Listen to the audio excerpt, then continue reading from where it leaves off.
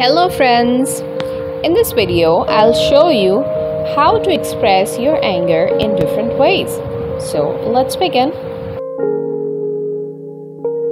I'm furious.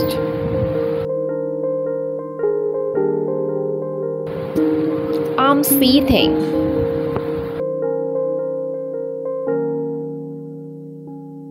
I'm livid.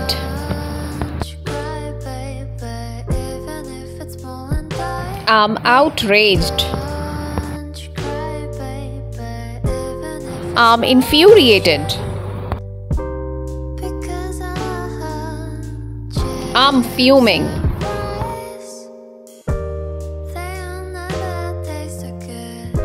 I'm steaming.